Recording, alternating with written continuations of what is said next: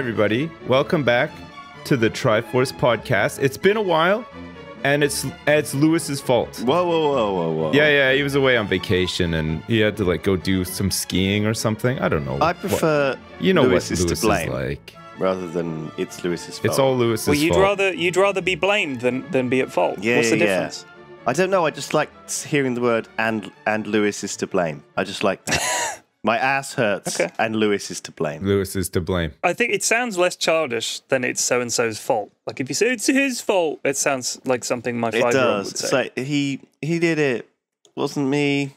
It was It's all down to Lewis. Yeah. Lewis Lewis cucked us for like two weeks. First in I was in Dubai Vancouver. and then with the podcast. How was Vancouver? Talk it up. Oh, Have you guys ever ever experienced the joys of uh, business class air travel? Oh, I have. My goodness. One time. yeah, one time for me as well, just once. I'm Well, I, I say once. It was there and back. It was the same. But Yeah. the first bit- time I've ever been business, and it was, or anything other than, than premium economy, which I think is pretty premium usually.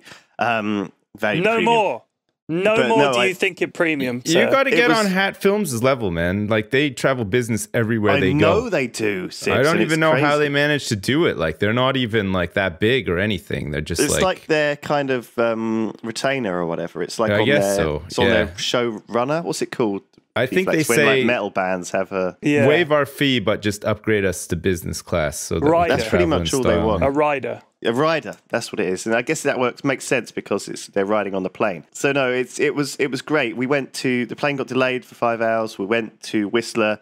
They swapped the plane out for a bigger plane, Nice. and um, there were not enough seats in premium economy, so we all got upgraded to business. We were all sitting in different places, which was great because I didn't have to sit with Duncan and Sjin for the whole time, and I got about four hours sleep, which was absolutely heavenly. Because then when we got to Whistler, up at the top of the uh, mountains in Canada, we woke up at really early because of jet lag, and we went straight out and we skied, and it was it was glorious. It was great. Nice. You Enjoyed it. guys finally went on your skiing trip, the one that like Sjin has been talking about for three years. Solid. That's exactly right. We you finally, finally did it. managed to get out onto slopes for two days, and Duncan, poor old Duncan, he couldn't couldn't never been before, Right. and just spent the whole time falling on his ass. I've got this glorious picture on my phone of Did you have face Did you have sore legs after you were done skiing and snowboarding? I didn't actually because I've had I've been going to the old um, gym, Oh, and so of course, looking, looking yeah, after the myself. Gymbaroo, yeah. So I went to the gym yesterday, saw my personal trainer. Yeah, I got a little story. Got a little story oh, about oh, him. Jesus. Okay, let's hear it. Um, Here it comes. So basically, you know, go in there, and um, I get there at like you know normally normal time nine o'clock, and uh, Did you just walk in and you say, "Hey, what's up, dick face? I'm back from my my my vacation that I it was a really lavish one too. I bet you've never been on one of those. Was that like your opening thing uh, to him? uh, yeah, pretty much. Just like uh, just I was a just really trying to cocky, think of like the most inappropriate thing you could say to the him. really and- cocky like nod and wink. You know, right? Oh, okay, yeah, good. And yeah. of course, he's chatting away with this young looking blonde um, girl in a, in a tight tracksuit or whatever.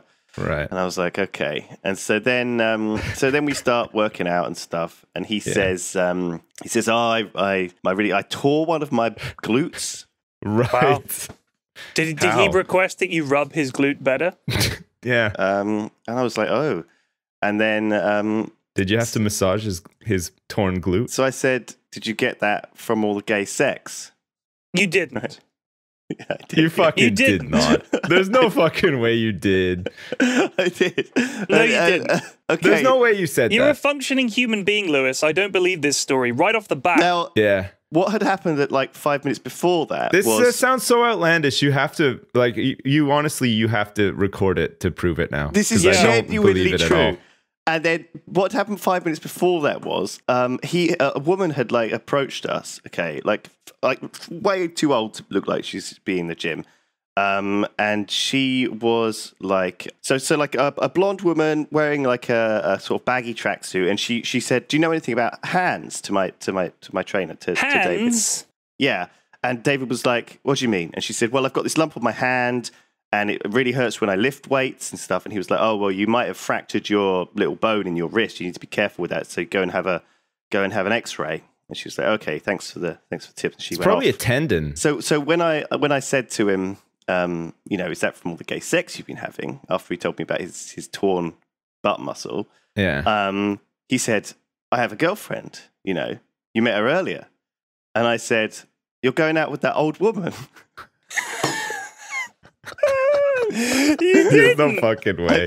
This is all. This is all in your fucking dreams, man. There's no way you said this stuff to this guy. Like you don't even know him. How many I'm- times you been in the gym now? Let's. Can we get uh, like what four, five times maybe? I've been like, You're what? not. No, you're like- not like- on. You're not on terms with this guy where you can say this shit to him. we are now fine. We are now fine. He cracked a smile and he was like, No, the girl earlier. And then we had a little laugh about it and it was fine. It was fine. It was actually fine. Okay. Okay. God damn. You know how he tore a glute? Because when, when he's been working with you, he has to go and work out so fucking hard to get all his anger out to Yeah, work with right. the next person. He's tearing he glutes. probably fucking strangles his girlfriend like every goddamn day, and then Oh. screams your name at the same time. He, he asked, she asked for that though. So it's fine. That's the thing. You know, getting. Don't ever do that, by the way. I think that's really dangerous. I see. I see this though. what, What? tear your butt butt muscle? No choking like your girlfriend. Oh, right, like- of course. I saw yeah. this. I've, I I was saw, I saw this whole string of like memes about um, on Imgur, and it was just all of it was just about like women saying "choke me" and stuff. I was like, Jesus, do people don't just okay? do whatever you want in your own bedrooms, but be careful out there, folks. The Like, thing is, you know what? You shouldn't do whatever you want in your own bedroom. Because what if you wanted to murder someone? Don't do that. Don't do anything Exactly. against You're the not. law in You your own shouldn't. bedroom. You shouldn't really. Yeah, Don't do murder that. people and don't choke them. Don't, Don't choke 'em. That's really personal. I think if you are going to murder someone, shoot them from like 300 meters away or something. Like, don't fucking choke them or stab them. That's even worse. That's messy. like, man, just like, just get a sniper rifle or a hunting rifle or something and do it that way. Oh God, you can imagine. I mean, if I was going to get killed, I'd want it to be from a mile away. I don't even see it oh, coming. Oh, God. just my head just snaps and it's all over. Rather than someone up close can smell their Man. breath as they're hunched over me, strangling the life out of me. It fucking I- if I'm if I'm gonna go, I just want to be vaporized. Like Vaporized? I, I I don't even want to know where it comes from. I want it to be like instantaneous. I don't want there to be any chance that I'm gonna survive with like. You want to be vaped? I want to be vaped. Vaped. I want to just. I can do it. I want to disappear into a cloud instantly. I don't want any like residual like oh he made it somehow, but he's, he, he can't use his arms or his legs ever again or anything like that. I don't want that shit. Like I just yeah. uh, when I go, I want to go. I want to go big. You don't want to come around and be in, in, a, in a barrel. yeah, Just a man that lives in a barrel full of full Yeah. of liquid. yeah, yeah. Not a not a glass jar. They couldn't get a jar. They're like, there's too much of you left to fit in all the jars we've got. So we had to go with a wooden barrel with no windows. You just live in Oh, there now. man. Same same with like a really bad crash. Like if you were in a plane and it crashed in the ocean or like somewhere in the middle of nowhere, vaporize me at that point. I do not want to be I do not want to survive that because that is even worse, I think, than than dying. Like, you know, fucking having to like hold on to a, a piece of the, the wing and float to shore over the course of two weeks or something like that, you know, in shark infested waters and it gets dark and cold in the Atlantic Ocean or, or the Pacific, I guess. You know what I mean? Like mm, I'm yeah. not that survivor. I that's not me. Just just just vaporize me every time, okay? I don't want to like black out in fear or anything like that. I just want to be vaporized. That's all you can hope for, I think. I was reading about this girl that fell two kilometers. Her plane broke up in midair. They were flying over the Amazon jungle. This is Right. a true story. You can look this up. And it was made into a shitty movie, I believe. The plane No. breaks up and crashes. There's like 87 people on board. 86 of them die. Her, she's in her seat, plummeting towards the jungle canopy in her seat, obviously thinking, "Well, this is this is it. I mean, this sucks." There's the- no the- way she was uh, she the was jungle she was canopy, conscious for the, whole jungle thing. canopy broke her fall, and I mean, I you know when people say you black out, I, I would be Yeah. so terrified. I think I'd probably stay awake for that. I think I mean, uh, not everyone has a Sipsian rela- reaction to to danger where you just faint. I think a lot of people would just be going ah the whole way. And when you're, you know, there, know. there's a video know, of man. that Your- guy who's parachuted. Your brain is crazy, okay? Your brain does some weird stuff, and a part of your brain's way of coping is to just sometimes cause you to black out. Is the Like, reason just that you that. black out because you're being choked by something? I don't. I don't think that you're getting choked during a, tw- a two kilometer drop from a plane that's just broken up in midair. That's just a waste Uh, of time. Whoever's choking you. Uh, Like, I mean, you, are clearly gonna die. is, like I think I think you got bigger fish to fry at that point. it's like someone on fire being eaten by a shark, and you're there just choking them as well, just to But make you- sure. on the way Ah. down, you're like, "Oh my god, I'm gonna die. I might as well just quickly have get get myself off," you know. And you start choking yourself and like. There's no way people think that. Like that's the last thing on your mind. You're Anyway. not feeling sexy at that point when She, you're she faced crashes with into the, the jungle canopy. Does she? Look- Hang on a second. Let's just carry on this. So she doesn't undo the seatbelt. She just thinks Well, I'm going to no, stick. I mean, for one Man, thing, she's like fucking paralyzed with fear. Of course she doesn't undo the seatbelt. She's in the in the position, the crash crash position. You know, like when you put your hands. when she left the plane, I'm sure the fasten your seatbelts light was on. Right In, until she sees that light come off, that seatbelt stays on, or until she How lands. does a plane break up in midair though? What It is just that? Like just did. Too just much fucking- turbulence or I don't know. something? Do you think she like takes a cheeky vape or something as well? She's like, oh well, you know, I'm outside now. There's not going to be any plane. I can I can finally have She's a in quick free vape. fall, Lewis. She's in free Man, she's fall. scre- like she's like screaming her head off. Like Is she though, though, or is she Of like, course okay, she I'm dead now, fucking I'm is. resigned to it, and she's like, maybe the reason she survived was because she did choke herself off, had time to like get relaxed. didn't. she she like vaped a bit, and then she, She like never loosened did. up, and then What, when she she, just- when she fell, she was really loose, and so she just bounced. Man, it's not it's not a fucking episode of Roadrunner where he's falling down and he busts out the picnic basket and, you know, plays the violin and stuff. Like she she's just screaming into the the, jungle whole time. canopy. Yeah, she's terrified. But the, the jungle canopy breaks her fall. So she lands. Right. She starts she starts walking and she realizes So hang that on a second. Is she stuck in a tree? No no no, it just crashes through. So she's on Right. the, the floor of the jungle now. She's kind of injured. She's fucked up her arm. She's crushed like a she she like landed on a fucking bunch of monkeys or some in the shit. fucking rainforest? Yeah, yeah. Fuck. so no she gets way. she gets up and she she finds the river and she realizes Yep. she she knows okay rivers flow down to the sea. Right. I'm sure there's some people living by the sea at the end of this river, or maybe I'll see someone along the way. Yeah. So she just starts floating down the river like she she just What? floats. In the, in the fucking rainforest, No, no, no. you Yeah, float yeah, down a she's in- river. she's in the Hell rainforest. no. There's piranhas in Yeah, there. exactly. You don't do that. she had she had no choice. And with a fucked up arm too. Was she Yeah. bleeding? She was Oh, it was for- getting very bad. It was there was maggots in it and everything like that. was Oh, she like oh. choking I herself as well So and she's she's stuff? She's getting the, she's constantly being bothered by a, a, a small Lebanese child who'd also crashed with her, who kept Yeah, choking her and talking badgering about her about anal sex. masturbating when she yeah for some reason. I, it's just But like somehow she obsessed made with it, all right? masturbation. So she's she Right. Floats she using down the the, river. airplane seat as some sort of surrogate canoe? And I don't know. They interview her after the fact and they say, What's the worst part of your whole ordeal? She's like, You know what? I could just about handle the broken arm and the free fall for two kilometers with the canopy breaking my fall and the piranha infested river and, And the everything. maggots in but my there arm." was this really fucking annoying guy badgering me to start masturbating the whole time I was surviving. That was the worst part. That was so she, she's vaping as she goes down the river like a sort of old steamer. Yeah, like one of those gambling ships. Climb aboard! We got poker. oh man. So she finally gets to this this wood shack that was sort of used for some some logging or something in the Amazon, but it was abandoned. So she goes for in there cocaine and production. she cocaine production. she stumbles across a cartel cocaine plant. Oh But yeah, man. they rescued her and she lived. It was fucking nuts. Fuck me, man. I like we're joking, but holy shit! Yeah, like, crazy. I hope I hope that woman is not listening to us I don't talk think she about her right now because that's really If you really are, well done. That was really impressive. yes. Yeah, you did a good job there. And they her arm. And they Really her arm, by the way. Not sure about the logic behind getting in the river, but still. Well, she did. You know, she had to go past Good. all the alligators and all that shit. But what el- I don't know what Oh, else. shit. What other choice she had? Imagine just having to walk through the Amazon, dude. You'd never Oh, make man, it. No, no, there's no way. I would just, I would, I would hope that I landed in a tree and I'd stay up in the tree and I'd wait for like some people to come by, you know, like you know, some intrepid explorers or whatever, and I'd call down. I'd say, "Hey, hey, help me! My my plane broke up and the canopy broke my fall. I've been up here for a year. I need some help." Or and that's how I would get out of the, get out of the. I'd be dead, man. Then I'd I wouldn't even start walking. Like I would be so fucking scared of like everything that happened and everything that was ahead of me as well.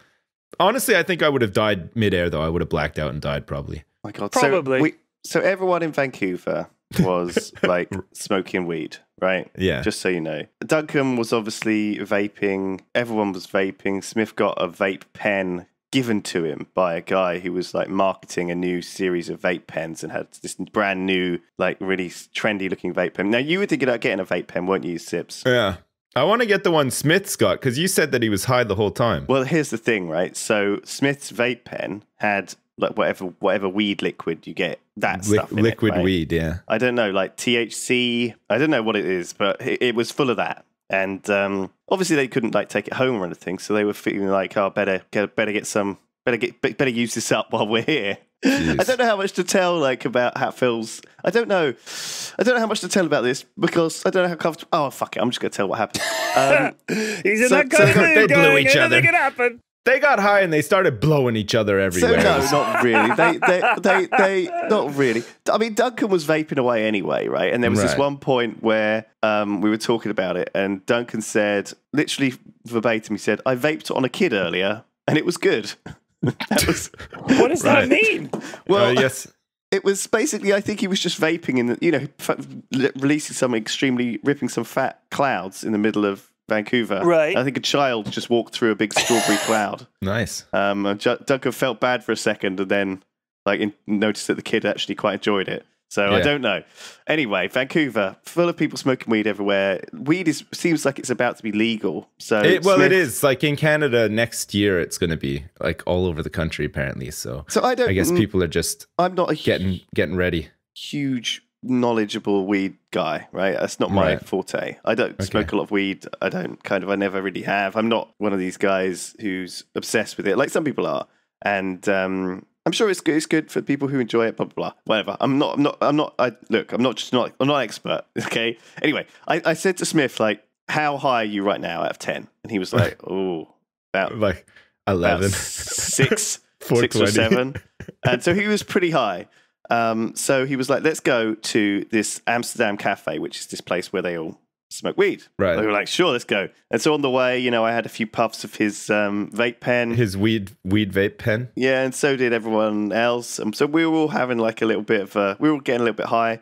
And we went to this um, this Amsterdam cafe, and it was like it was a shop that was just it, full of bongs on one side of the room, like like a like a It was like collection. where like like like shishas and stuff. yeah, they have and they like were those all- pucks and, and everything. It looked like a glass dildo fucking wall. Hey, have you, have you ever tried a, a shisha though? Eh, they're nice, man. They're they're really good. Aren't You they like- like, 40 cigarettes in one breath or No. something? Pr- No. no, it's not. It's like a it's like a tobacco. It's like a scented or flavored tobacco puck that you put. and at it's the really top. cool because it's water filtered, so it's, it's Yeah, they're great. They're very relaxing. It's nice. It's really nice. It's like eh, it's it's it kind of it it- feels a bit like vaping actually. Um, Yeah, yeah, it's very similar But it's like this huge, gigantic, uh, like Middle Eastern apparatus instead of uh, you know just a little trendy pen or whatever. And the guy comes and puts the little disc. Yeah, what, he what that flavor little- would you like? Thing like on and- apricot, yeah. and he goes bonk and puts his little disc on and starts it going, and away you go. It's good. Yeah, and it makes a cool sound when you when you take like a like a, a hit from it. It goes like yeah, that's good.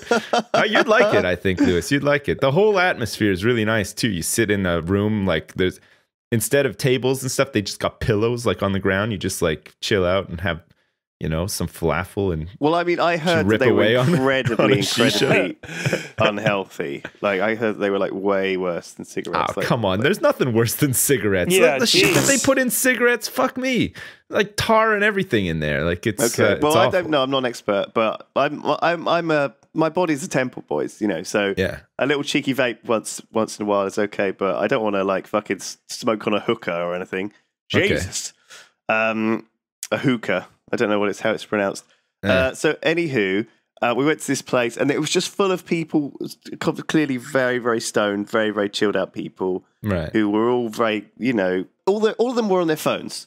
Okay, Yeah. clearly watching some something from like um, r slash mildly interesting or whatever. All right. And so we got we got stoned and then we went to this fucking restaurant. It was it was nice. Um, we went to What sort of- restaurant did you go to? McDonald's. What'd you get? 30 chicken nuggets.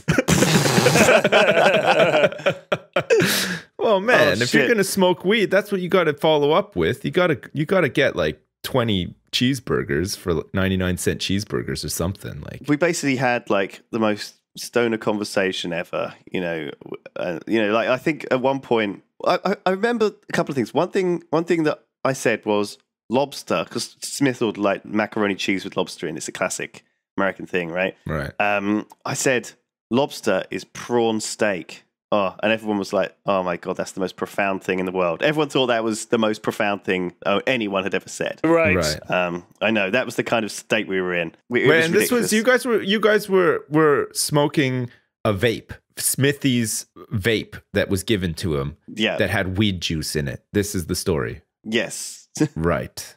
that's that's literally it. And Gotcha. Are you high right now? No, I'm not. Okay. I'm not very well right now because of flipping flying back. You know, I always get like airplane colds. Right. So You're you like know, George being on a- Costanza. You know that. You you remind me of George Costanza. saying inappropriate things to people that, that Jerry Yeah. would be like, George, you can't talk to them like that. I told him. I told him I don't like his face, and he's got an old girlfriend. That's you. Your re- your don't like relationship with the gym guy. yeah, Aw- that's awkward that's silences. Go into a, a, a, a place to smoke weed. It's all very very Costanza. It's right out of his it is playbook. very very Costanza. it's yeah. very, it's very, very true. You know what? I was I was thinking the other day. This is when I saw a, a tweet that Sips has made. This is a complete change of subject, but it really made me laugh because we do this quite often on the podcast. I've noticed what? is our references are tragically sort of out of date. So you made a reference to Smithy. I think it was something he was wearing, and you referred to him as Punky Brewster. right? So that was a show that aired in like the, the mid to late 80s. And I Yeah. im- instantly knew what you meant, but I'm thinking like 90% Hey, of the people who watch The girl, Smithy's the girl that played Punky Brewster was Blossom, though, right? no, or did that they was just look? Soleil Moon Frye was the girl who played Punky Brewster, and Blossom Oh, was played by. Wait, don't tell me, Jesus, what was her name? Rene Russo. No, it wasn't. It wasn't Rene Russo. Mayim Bialik. They look similar, though, right? They look. They no, look. they're really completely different. Mayim Bialik Oh, is the girl. She's in Third Rock from the Sun. She's Never the same age then. as Soleil Moon Frye. Soleil Moon Frye is is beautiful. Like she's a beautiful woman. what the Um, one that plays Blossom? No, the one that plays Punky Brewster. Like if you look at a picture of Oh, her now, Punky- she, she's forty. She's like she's she's born. She's only Okay, slightly me- older than me. She is she is gorgeous. She's absolutely gorgeous. Mayim Bialik not so much, but she's she's nice. But she's not like a looker, you know. Okay, Punky Brewster now 2016 images. Oh yeah, no, that's not Punk. She looks a bit like Alanis Morissette, doesn't she? Yeah, she does. She has that Alanis Morissette look. But I don't hate her. Yeah. Like I hate Alanis Morissette. What is she recently pregnant? There's lots of pictures here of her pregnant. oh damn. Well, that's over. Yeah. She got four kids. wow. That's why there's so many pictures of her pregnant. It's hard to take a picture of her when she's not fucking pregnant. Jesus Christ. I think it's interesting. Like, I was watching The Simpsons with, I know we talk about The Simpsons a lot, but I was watching it the other day with my kids, and there were a number of references in it that, I, I mean, I know my kids won't get them, but I think most people who aren't in their late 30s or 40s would even get. Like, I remember watching them at the time and being confused. Like, references to Steve Allen. Like, Steve Allen Yeah. was, was uh, you know, funny, like, he was a comedian in the 70s. I know, yeah. Well, I mean, Simpson has like tons of references to like Reagan and Nixon and like all these like old ass presidents like stuff that. like but that's because the guys that were making the show were like our age now and they Exactly, were like what's yeah. funny oh yeah steve allen yeah let's joke about steve allen mad magazine alf like there are jokes about alf Alf, nobody's seen alf in like 20 years oh, like, I used to watch Alf all the time though. I fucking love that show. It was my- i really know good. my kids would watch it now i guarantee you they would watch alf now even though it's fucking awful but i know they'd Yeah. watch it But there's like certain shows that did really well over here. Like my wife says that like Roseanne used to be on all the time over here. It was Yeah, like that's it a was great pretty show popular. Uh, like the Cosby Show, but I guess the Cosby Show is pretty popular, like more or less everywhere. it was huge yeah it was huge Yeah, yeah, and um, and Frasier as well. She said Frasier was just like super big over here too. Yeah, that was big. And Friends, Friends was really Yeah, big Friends over here. was- apparently. Friends was but Seinfeld not so much. Seinfeld Nah. was huge in North America, but Yeah. not not so much in the UK. people didn't like it it was too too american honestly too, Too american, American, yeah. i think too new I don't know. I would have thought that Friends would have been as well. Friends was like fucking No. ultra American. No, it's it was like just elevator music comedy. It's like super, super appealing. Like no, you don't even really notice it's there. It's just my sister, by the way, is fucking obsessed with Friends. Like she knows she's seen every episode probably like a hundred times. Knows the show inside. out. Yeah, and I'm like, really, Friends? Like it's okay. It's yeah. it's, it's not I- offensive. if it's on, sometimes it, it'll occasionally make me laugh, but I would never like follow it religiously. Friends and Seinfeld and shows like that are just still in like massive syndication in Yeah, the yeah. US. They're like on TV all the fucking time. Fresh Prince of Bel Air as well. Oh god! But, but do you know mean, what? I Do you know what? A lot of people liked Friends that you wouldn't have thought would like it. Because to me, it, it and this is going to sound sexist. It always seemed like more of a, a sort of a show that girls would be super super into. And Yeah. and you know, I mean, I, I thought that maybe you think that was unfair, but. When my wife was at university, the guy in the next room from her, she remembers one time she she was she was walking past his bedroom when he was watching Friends, and she could hear the title music, and you know the that bit. Yeah. He clapped along with it in his room. And I remember Nice. thinking, all right, he, he wouldn't have done that with the door open. He would have been embarrassed if he clapping along to the theme of Friends. That's pretty good. Yeah. was funny. I, like it's weird. I remember, I, like I've probably said this like many times, but I remember like growing up on Thursday night, you had it was it was it was crazy. Like primetime TV on a Thursday night, you had new Simpsons when Simpsons was like pretty good. Yeah. You had new Friends and then new Seinfeld. Like those three shows, huge shows, all with like new episodes on a Thursday night.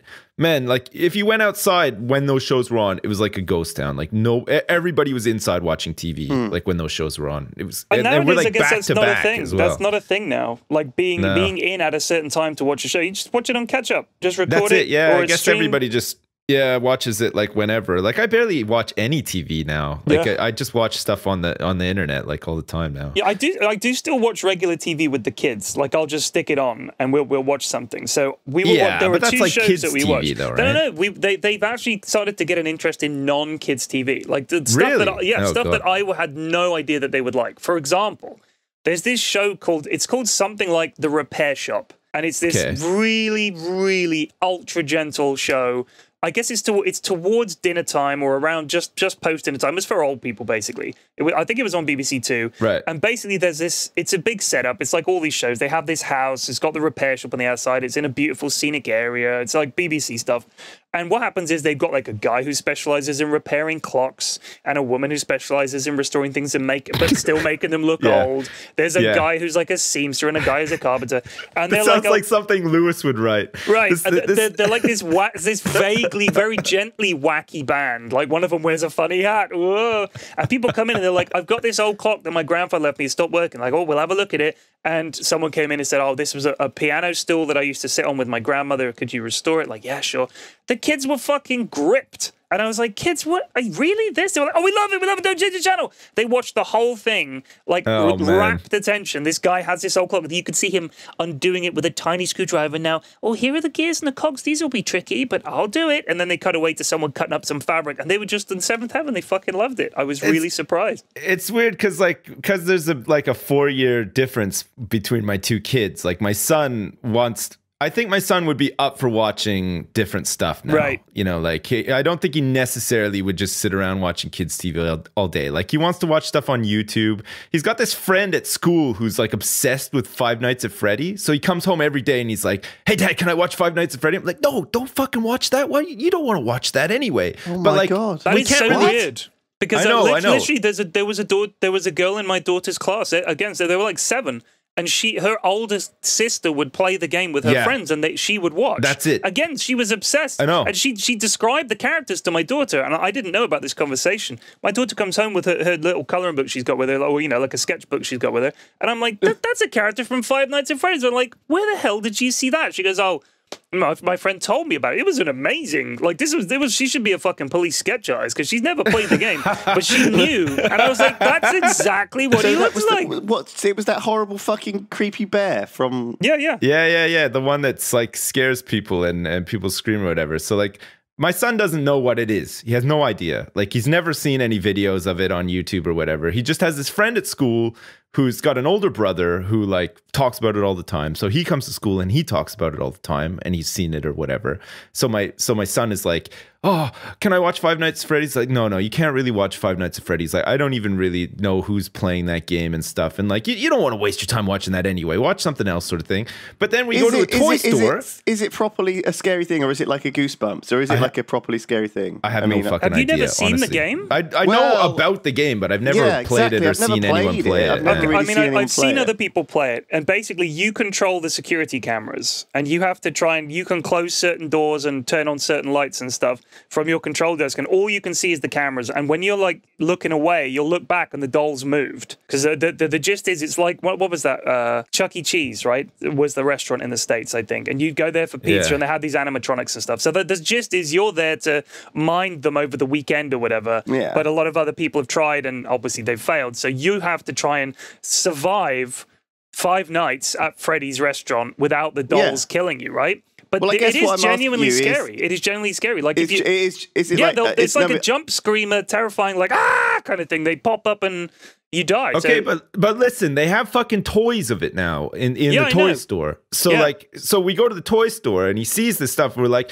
all right, you want to get something? You want maybe get like a transformer or something? Like, you know, we, we went, we took him to the toy store to, to get him something because he Right. had like some vouchers that he got for his birthday from like this fucking aunt who lives in like Croatia or whatever. Um, and so we, we took him and we were like, you, you want to get like a Star Wars guy or, or something? And he's like, no, no, look, look what they have. Like what? I'm, like looking around, there's like My Little Pony and stuff, and then I fucking see it. It's like just just stupid fucking bear from Five Nights at Freddy's. Like that's that's Timber or, or whatever his name is.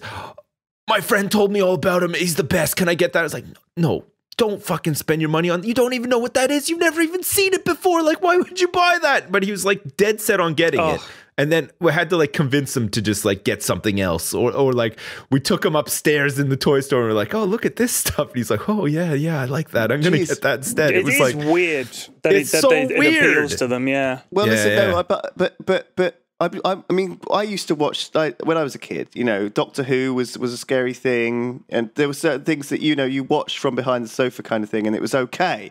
Like a lot of kids stuff is gross or kind of spooky, and the Goosebumps books. I, I mean, I'm using them as the main example, I guess. But like, uh, is Five Nights at Freddy's like? Are we talking about like adult nerds buying these toys, but they're accidentally being put in the kids section, or are no, these I don't genuinely think like? so. I think these are, these- genuinely like kids things. I think. Okay, so is Five Nights at Freddy's supposed to be okay for kids to play, like, uh, or not?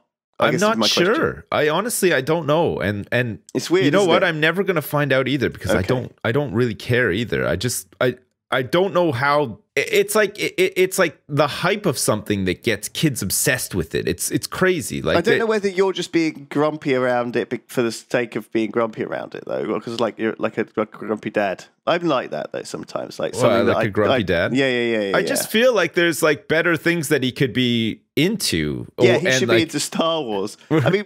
Watching like you know Anakin getting like burned in a fire and killing children, well, you know, not like that oh, maybe sure. not not that specific part. Like and like Luke having his hand cut off and all that Yeah. stuff. Yeah, which is like pretty cool. Like you know, it's, it's probably better than Five Nights at Freddy's. I guess there's fairly horrifying bits in Star Wars, though, Yeah. like for a kid. You know, mild horror. Yeah. You know what? Maybe I'm wrong. Maybe I should just fucking embrace Five No, Nights at Freddy's and it, get him don't do into it. I'll, I'll just, I'll just, I'll just subject him to all of the fucking screaming man children on YouTube who play it and stuff, and fucking buy him the toys and shit, and let him go to school and talk about it, and maybe he can fucking enlist some other kids into it and, and stuff as well. That's Form a little probably Five pretty Nights good. at Freddy's cult. Hell yeah! That sounds Why not? That sounds fantastic. I think Yeah. you should just. That's the you know, problem. You you can raise your kid as well as you like, but some other Yeah, piece it. of shit out there will raise their kid to be a real son of a bitch with no hope, and your kid will befriend that person, and your kid will be corrupted. That's yeah, it. to be like a corrupt, like a fell, my fell child. Like,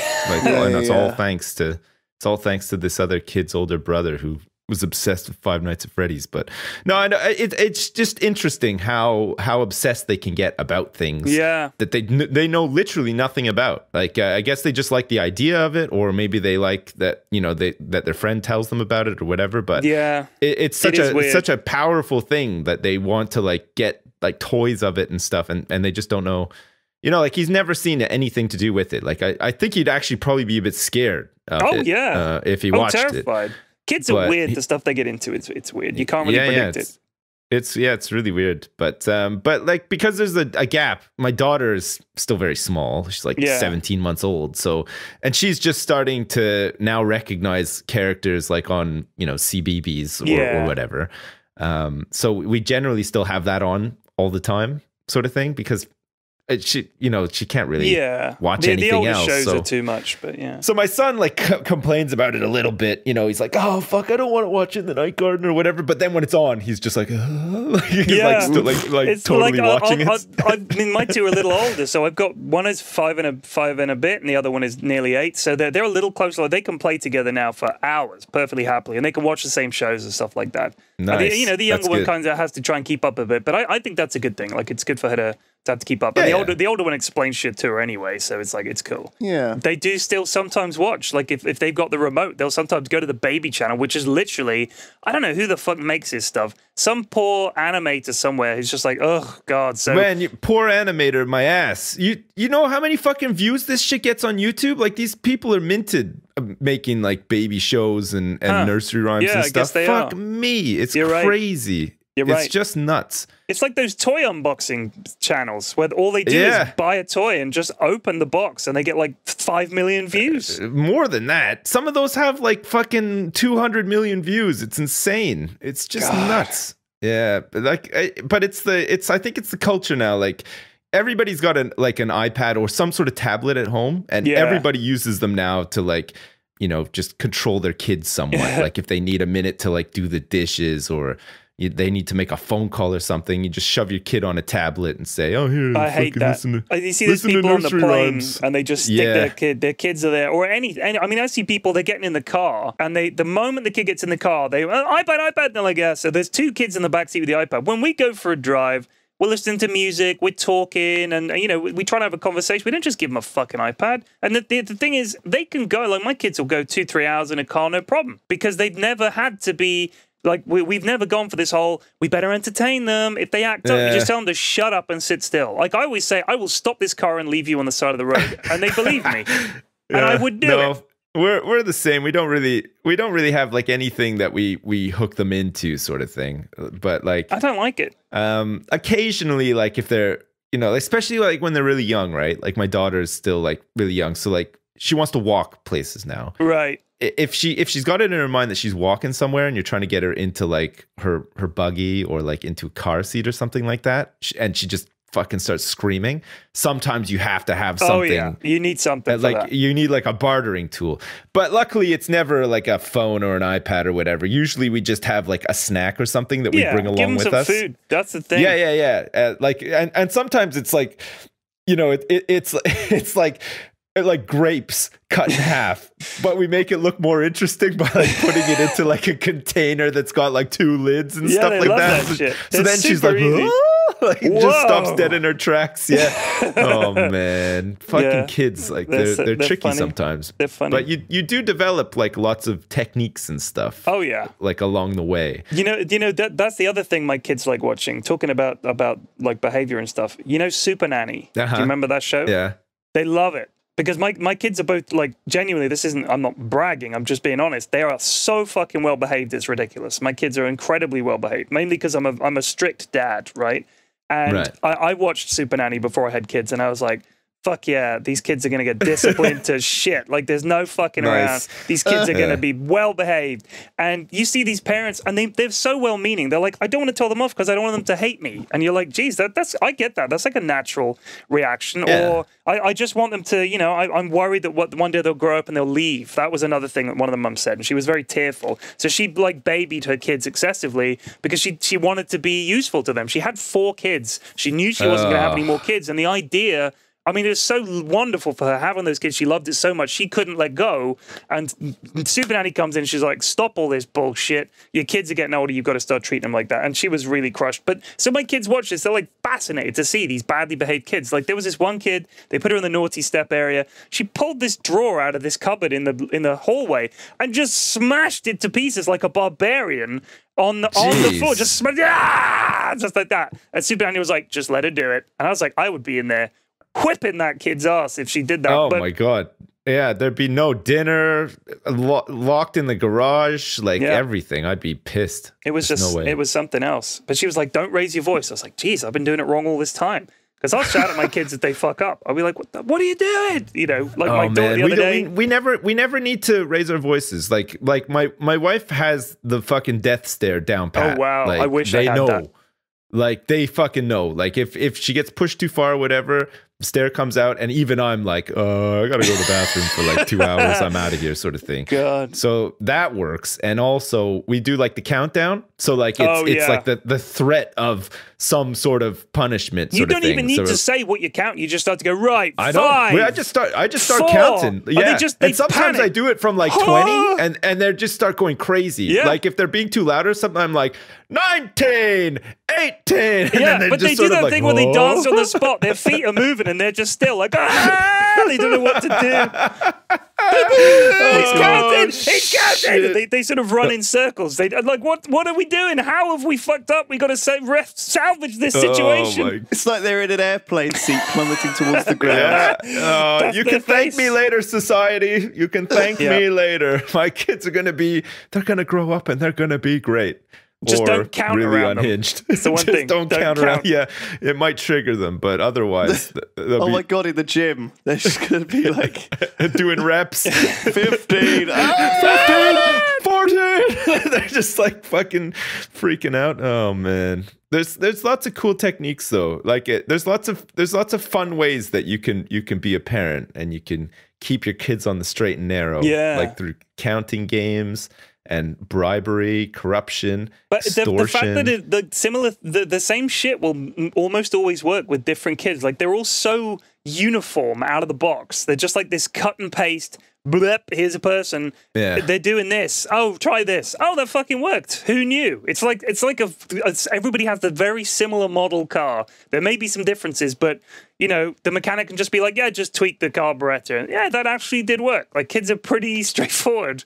You just Yeah, need to they- learn those techniques. It's kind of funny. Yeah, man, I have no time for other people's kids though. Oh, like, fuck that noise. I don't. I don't want to fucking know. Like they come up and they talk to me, so I'm just like, whatever. I'm. I, I'm not. you just put to the hand out. No, yeah. not don't mine. Not interested. Where's Where's your mother, Jimmy? Go tell somebody who gives a shit, Jimmy. It's not me. that's, that's the thing. I, my kids would love to have more play dates, but I'm like, oh, geez, I'd have to have someone else's kid around oh, here. those are fucking awkward. I I took my my son to a birthday party, and uh, this woman was like, "Oh, you know, your your son and my son they." They get on so well. It's so sweet, isn't it? It's like, oh yeah, I know it really is. Like watching them play and stuff. And she's like, you know, we should set up a play date one time. I was like, Uh, we we have um, leprosy. Oh God, we're we're We have, we have leprosy. Don't come around. Oh, yeah. I mean, we are busy. Like we have a lot of shit to do. Sorry. Um, yeah, it's awkward. Like It is like, tough. and there's no, there's no, there's not really any way to make it not awkward either. Because the only thing you you have in common with this person that you know of is that you've both created life, and and now you're sustaining that that life that you created. like you know they might be into some really weird shit like they might have musical taste that really offends you or Ugh. maybe you know they might be racist and you don't know it yet and stuff like there's there's lots of risks involved with It play is dates tough. i think And then they have to come around to pick up their kid, and they're in your house, this person you barely know, and they're like nosing Yeah. around, judging your house. You're like, geez. i hate that too you got to tidy up a little bit too because you don't want them to think that you're slovenly but Yeah. like you know you're just like when you have a house that's filled with kids like it's not it's it's it's not a, a beautifully clean It's gonna be organized messy. There's gonna be is it? shit Yeah, everywhere. that's It's it a dump. Yeah, yeah, it's not a dump. Lewis. it's not a Come on. Dump. It's just lived in by Man, people. fucking spend a day in my shoes and then call your house a dump, okay? Man. You're so sassy. I, I- I quite like this new I wouldn't want to get into your shoes because they're probably full of fucking baby sick. He doesn't say Jesus anything for ten minutes. He's like, "It's a dump." Just call Hey, that's one thing that I'm we're, I'm lucky. I don't know about you, Flax. But my kids are not sickly. Like they don't barf. Like no, they they're never not, have. not too much, barely at all. I mean, but Yeah. if it happens, it's rare. They're not. I mean, Yeah. they do get sniffles and things. And the thing Yeah, is, when my but- kids are sick, they go into this sort of sort of cocoon. They just crawl into bed and just lie there for two days, and then they're fine. Like that's their sickness. Like. I, I got the same thing they had, and I was laid up for a week, like feeling like fucking death. And they were just like, "Yeah, just give me a couple of days. I'll just uh, rest this off, stick the telly on. They just lie there in bed, completely still for like Some two days. kids- boom, ready. Some kids are really Ralphie though, like Yeah. projectile, like you know, drop of a hat sort of thing. But That happens at my daughter's school because the younger one, um, she, uh, she she'll come home and she'll say, "Joseph was sick today." I was like, "Really?" She's like, I, I was like, "What? You mean he wasn't in school?" No, he was sick in the classroom.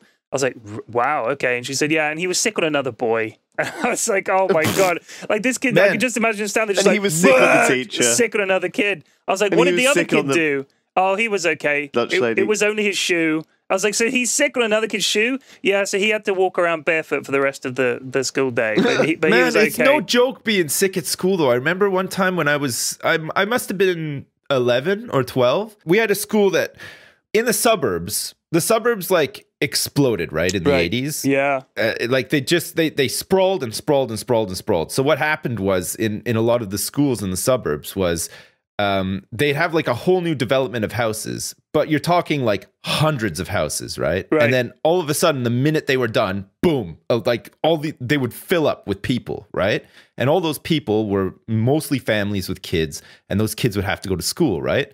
But but the schools couldn't really accommodate for them uh, because the schools were like a set size Yeah. designed designed for the population of the suburbs at the time it was built, which is like 15 years before this and stuff. So what happened was we had a lot of like uh, like portables, like you know those classes, like they, they're like uh, like mobile classes almost. They they were just like these boxes, and like a big truck could just like bring them in and set them up like outside of the school, like in a field. So we had tons of these like portable classes.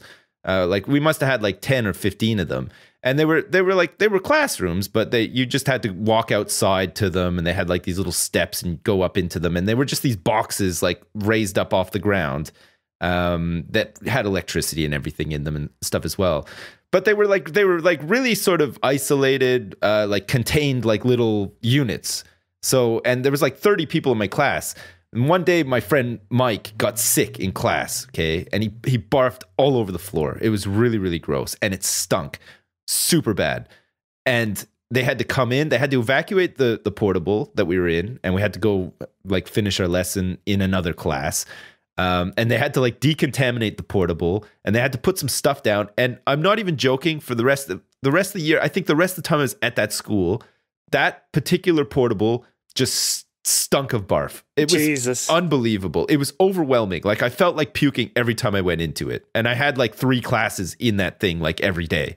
And it was the worst. Like you you'd get used to it after you were in it for a while. But then if you went outside, like to go to the bathroom or something, and then you came back, it would hit you all over again. It was like getting hit repeatedly by a train 50 times throughout the day. It was oh, it was awful. God, it was so bad. I don't know what what happens. Like maybe it's like the like the stomach acid or something just gets stuck in the Oh. in the fibers of the carpet or It's I don't so know, bad. but they they, they what can't they get do rid at of this that school smell. is uh, they remove the carpet tiles that the kids have been sick on and they just bin them. They're just gone. Like Oh they have a, the storeroom full of carpet tiles. When the kids are sick, they just like cut the carpet tiles out. They're gone. Put a new one down. That's it. Because otherwise, the stink never leaves. And kids are sick all Man, the time. Right. All the time. Thinking back, portables were fucking hilarious. Like we we had this guy called JJ. he was like he I, I'm not even joking. We were like 12. Dude was like 20, okay? He failed school like over and over and over again, okay? And he was just like lingering around like like a stale old fart. He was he was much older than us and he was really fucking funny. Like and if you had a class with him, he was super disruptive. He would like make fun of like teachers and stuff. And I remember this one time we were in class and we were in, in a portable and he was like, Miss, Miss, can I I need to go to the bathroom really bad. It's an emergency. Can I go to the bathroom? And she's like, Yeah, okay, JJ, go to the bathroom. And because there's no bathrooms in these portables, right? So you'd have to leave the portable, go outside, go into the school building to go to the bathroom. Hmm. So he leaves the portable, okay, to go to the bathroom, and we look, we look outside, like in in in like to the soccer field, and fucking JJ is just like pegging it, like running around the soccer field, like screaming, like arms like flailing in the air, running around and stuff, and like everybody's just sort of like stifling a laugh. I'm like, oh god, god, JJ's outside, like running around and stuff, and the, the teacher's still trying to teach and everything, and everybody's like, oh god, like laughing, and then uh, and then somebody just bursts out laughing, like it was just too much, trying to like contain the laughter, and then everybody's laughing. The teacher's like, what's going on? What's going on? Like, JJ's outside. she looks outside, fucking JJ's still going for it, just running around, like he's just like, oh fuck this Oh, class, man. I'm just gonna run around. Oh fuck, it was so funny. He Fucking got so far into the school system, he already knew the punishments don't mean shit. Like expelling him at this shit. point would be a mercy. He was like, "Do it, Oh, do what you fuck, want." It was so funny. just sort running around and stuff. Oh man, Just wants the sweet release of expulsion. Oh shit! Uh, I love moments like that at school. You know, like those moments when somebody would make would, would say something really funny and you're not meant to laugh. And you, you're you're trying to like trying to like keep it under wraps, but you can't. Ah, shit! That was really good. Ah, fucking JJ, man. I wonder I- what I he's mean- up to now. He's probably in jail. He's probably gotta homeless be or in jail. yeah.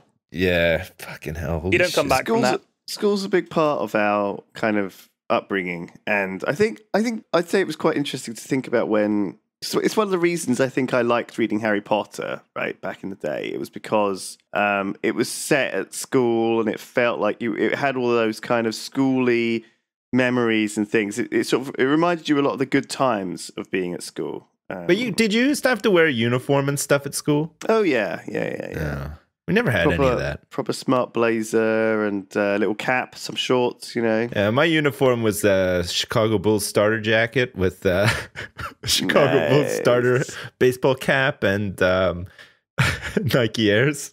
that, Yeah, was, yeah, yeah. yeah, that, that was we, we didn't have uniforms. We were just like we were allowed to wear whatever. Did they still have the cane when you were at school, P Flax? Um, yes, when I started primary school, um, that was uh, they were phasing out the cane around then. So this was like eight- eight- 85. They were, and our, the headmaster, Mr. Laird, um, this We're was at my primary school. We're phasing it out. He brought like we were. So there were three of us. I can't remember what we were doing. We're fighting or something. We're transitioning from the cane to the slipper. It's more appropriate.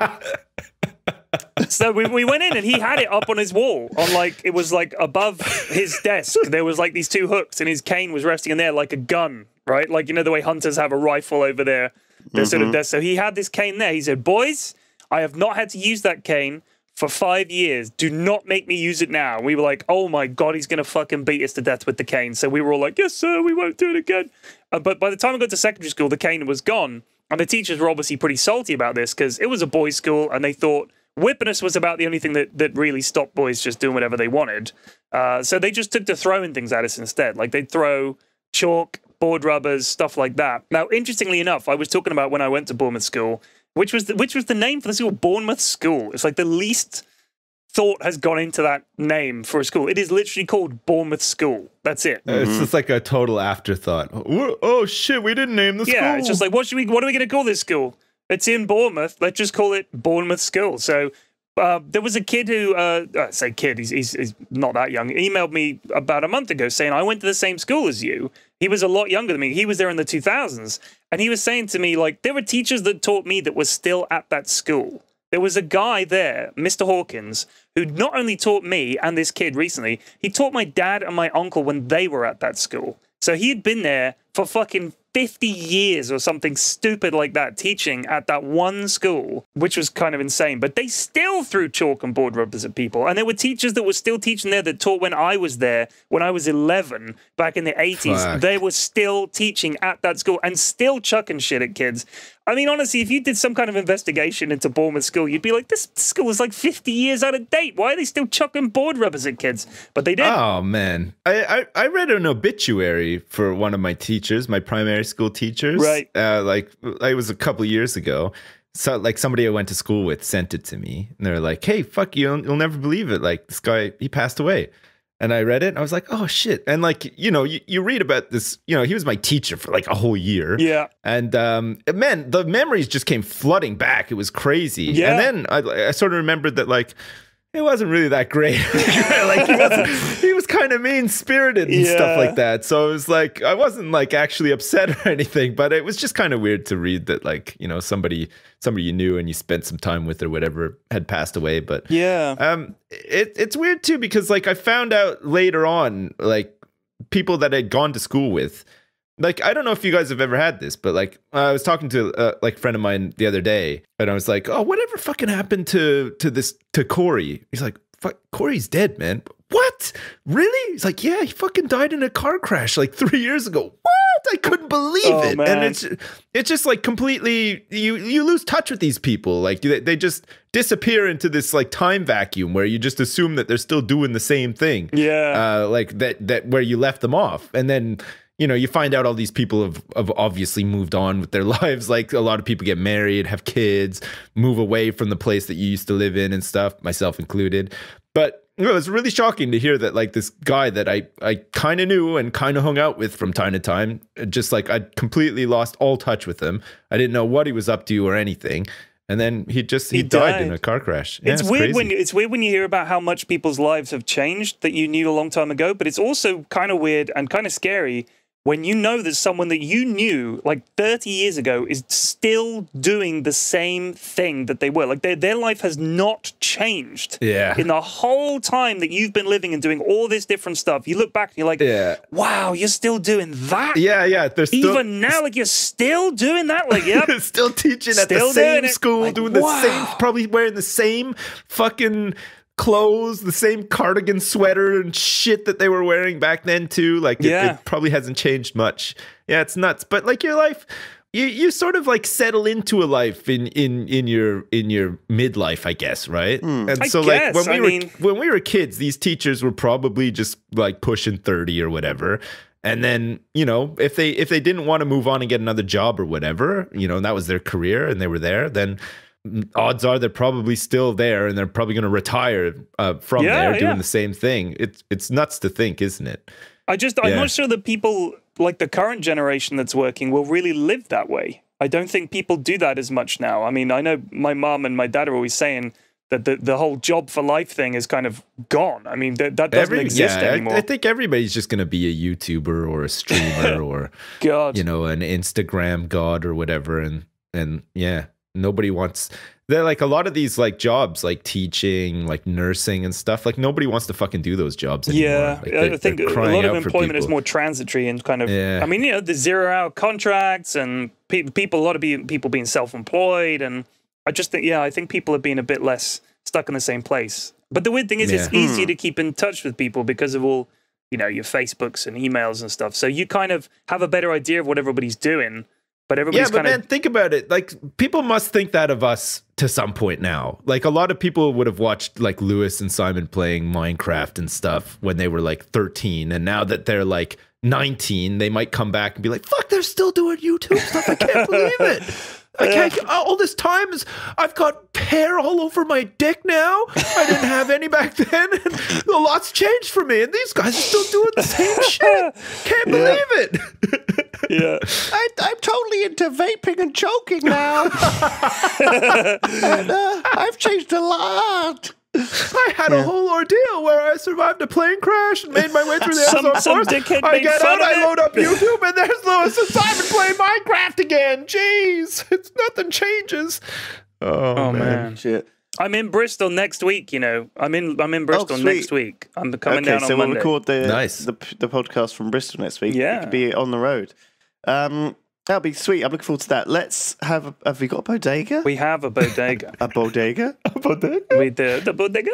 The bodega. We do. It's a longin. It's a longin. It's a two and a apparently. half pager. Okay, they're, Let me norm- they're settle in for normally the two ride. Hang on. pages. I try to keep them to two pages, which is kind of Let- tricky, but I've, I've made it two and a half. Let me adjust myself slightly here. Okay. okay, bodega I'm ready. part nineteen. What about 19 Areno? How about adding Areno to Okay, the end Okay, nineteen of... Areno. Sweet. Kaitos had been born, for want of a better word, on the planet Sigil at the same time as all the other Sigilese beings in the galaxy. All the Sigilese that had ever been or would ever be were created then, in a single moment, fully formed and conscious. One moment the universe wasn't there, the next it was, and the Sigilese were too. All their houses, roads, a sewer system, socialized medicine, and education, and really good internet. It was like Sweden suddenly existing. It was this infinitely unlikely double event that led the Sigilese to believe that they were special, extremely special. So special, in fact, that their creation was even less likely than the creation of the universe itself. Imagine a cake suddenly popping into existence out of nothing. That's pretty unlikely. Now imagine that same cake popping into existence, covered in icing and sprinkles, and the words, Good luck in your new job, Steve, love mum, written on it. That's even less likely. The Sigilese were the icing on the cake, and they knew it.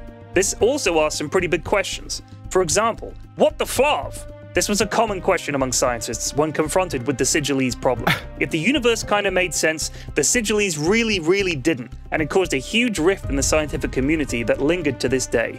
Some concluded that the Sigilese creation story was a myth, that they just happened to be one of the oldest civilizations around, but carbon dating of early Sigilese artifacts proved it. They were as old as the universe, to the nanosecond, in fact. Because of their self appointed status as the most improbable and therefore most important race around, the Sigilese were almost insufferable in their egotism. Some people were proud to be tall or strong, some were proud of their race's grand history of conquest or exploration. The Sigilese just figured that their creation alone was much more than anything anyone else could really come up with, so they paraded around wearing jewelry older than some people's solar systems. Some of them even had pairs of jeans older than people's galaxies. If you tried to reminisce near a Sigilese, you'd better be prepared to have your anecdote trumped into the next dimension. Naturally, many people believe the Sigilese to be proof of the existence of a divine creator. I mean, come on, they would say. If that's not proof, then what the Flav would be? And they were kind of right. It was nuts. But the Sigilese did not believe in God. The idea that there was something out there even fancier than them was just ridiculous. And the idea that God would create a race of people who didn't believe in him at all sealed the deal for many scientists. This was just one of those weirdo things that happens in an infinite universe. End of story. Kaitos was approximately 13 billion years old. He'd done everything he ever needed to do, satisfied every desire, and achieved more than any non Sigilese being could ever achieve. The list was so long it would take around a billion years just to read it. Kaitos, of course, had spent a billion years, around 5 billion years ago, running through all the things he'd ever done and recording this on a series of long life crystal storage devices. But the crystals had decayed around a billion years later, and he just couldn't be flaved to start again. He'd also realized no non Sigilese would ever live long enough to read even 1% of what he'd written down, so what was the point? And so, like all old people, Kaitos had started volunteering a lot. He had the free time, he didn't need money since his bank account had 13 billion years worth of interest in it, and his kids were so grown up they were older than 90% of the known universe. When that young pup Bodega had approached him asking for help, Kaitos had said yes instantly, even though what Bodega had asked him was so trivial to Kaitos that it barely deserved his attention. The late era Kaitos turned no friend down, no matter the request. It was hard enough to make friends anyway when you knew you'd outlive them by billions of years, so he clung to the ones he did have. As requested, Kaitos parked in his unbelievably cool ship in Krem Slum Dump's home system, Gurk, in orbit around the lush green Gurk 1. Krem wasn't home, but Majesta was, and Kaitos was the one who had introduced her to Bodega. He was here to clear the air between the two errant lovers, since it was too dangerous for Bodega to come to Gurk himself. Kaitos reached out with his mind, knowing Majesta would hear his thoughts. Within minutes, a sleek blue vessel span up gracefully from the planet below and positioned itself alongside Kaitos' ship. Majesta materialized on his bridge a moment later. You don't need the ship, do you? he asked her. No, of course not, but I like the ceremony of it, she said, looking around and smiling. Kaitos admired her perfect beauty. She was tall yet delicate. Her hair was so thick it looked like a few dozen birds could easily nest in it. Her breasts and buttocks seemed locked in a battle to outdo one another, and her face was so perfect it was hard to look directly at it. Warm and loving, but also aloof and haughty. When she smiled, it seemed that no other achievement was worth striving towards. Kaitos had long ago given up on love. He'd had trillions of lovers, but Majesta, she was something else. Naturally, Kaitos would wait until after Bodega had died before making a move, and he'd wait a good few millennia after that just to be polite. Do your psychic powers work on me? asked Kaitos playfully. He knew full well that Sigilese minds were impenetrable. Only when you want them to, she said distractedly. I'm here because, began Kaitos, but Majesta silenced him, pressing a perfect finger to his lips. I know. Bodega's mind is open to me, and I sense his every thought and every action, unfortunately. He does love you, doesn't he? asked Kaitos. Majesta began walking around Kaitos' ship, running her hand over its ridiculously ergonomic surfaces. Kaitos, you're older than I am, but we share something. A curiosity that extends beyond our powers, or in your case, your longevity. Bodega loves me, of course, but he's very confused. He is. And I am too, actually, said Kaitos, frowning. Tam was a mistake. Our child wasn't. Bodega didn't want children, and I did. What about Krem? asked Kaitos. I'm seeing where that goes for now. Bodega sees people through their actions, as most do. I don't. She stood with her back to Kaitos, staring at Gurk 1 through the viewport. I know every facet of someone's personality the moment I meet them. Every lie they tell themselves, all the things they regret, and the things they don't, but should. For a long time, I held off reading Bodega's mind because I wanted to experience love the way others do. But eventually, I became curious. One night, while he slept, I journeyed into Bodega's mind, and what I found was, well, it scared me. What was it? asked Kaitos, genuinely intrigued for the first time in around 15,000 years. That's private, said Majesta, admonishing Kaitos with the gentlest of glances that still crushed his spirit more deeply than the time he'd accidentally landed his ship on a Dildonian school bus. I must know, he said, taking a half step forwards. I will not tell you, save to say that the universe and Bodega have much in common. I knew that the more time I spent with Bodega, the more I'd become lost in his complexities.